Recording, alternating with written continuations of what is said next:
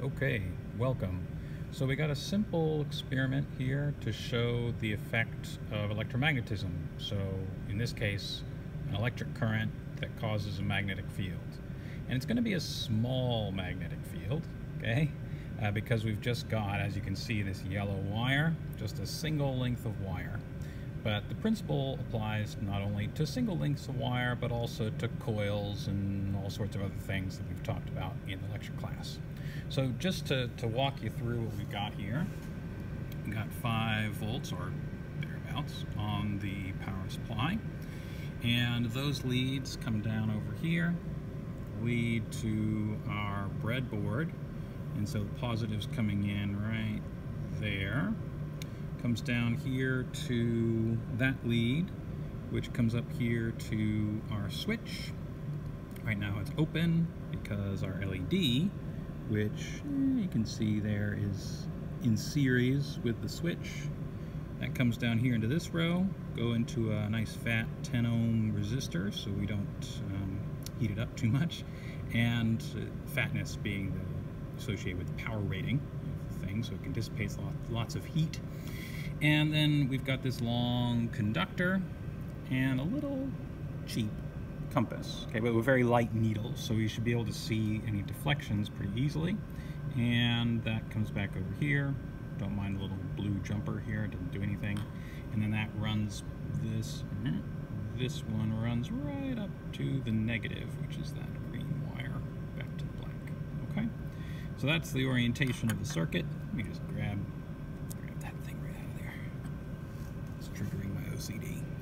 So, um, 5 volts on there, and what we're going to do is we're going to get our compass here, and we're going to put it right over top of our wire. Okay? And you'll notice that the needle itself is, uh, is, is pretty tippy, okay? So it's gonna, if we don't have it level, it's going to kind of flop over to one side. So what I'm going to do is I'm going to bring over little piece of gray wire here just to prop it up, keep it on the level. And you see that more or less the needle is aligned with the direction of the, um, of the path of the current, right? And what we're expecting here is that the current is going to come from there, right? That's the positive end of things. Come along here, run down through this thing, and then return to the green, okay? So the current is going uh, down the screen in our perspective here. And we can work out from our right-hand rule that if we then grab, right, we take our thumb, we point it in the direction of the current, our fingers should wrap in the direction of the magnetic field lines. Oh no, Okay, the magnetic field lines, that's what happens with no depth perception, looking into the video screen, in the direction of the field lines around the current. Okay, so on the top of the wire, we should be getting magnetic field lines to the left. And so when I operate the switch here, hopefully what we'll see is uh, a correspondence to that basic fact. Okay? See if I can do this one-handed.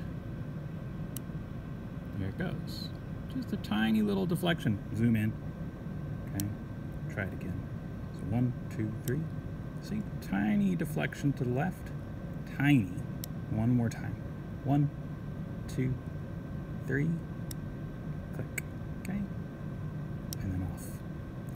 So the slight deflection is uh, the magnetic field of the Earth, okay, plus, vector-wise, right, so a vector addition of that, the Earth's magnetic field, and the magnetic field created by this current.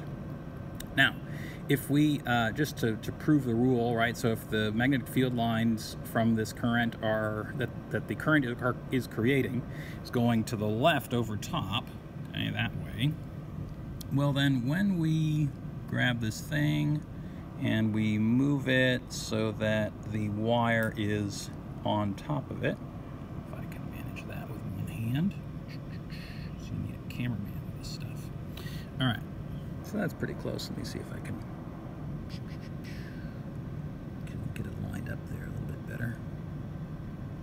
Okay. So now we're underneath the current. So instead of deflecting to the left, it should deflect to the right, because remember the field lines form circles around the conductor. So again, grab the switch, operate it. Ah, there we go. To the right. No, no, don't move the wire. Okay, and then one more time. To the right. Okay. And off again. So the effect is slight, right? We're cr clearly creating a magnetic field that is eh, on the order of what the Earth's magnetic field is, probably a little bit smaller in terms of its strength, its magnitude. And so we're only getting small deflections of the needle as the needle feels a torque to align with the total magnetic field that it's feeling. Now, there are some things we can do to intensify that field that is caused by our current, and in the next video, we'll do exactly that. See you then.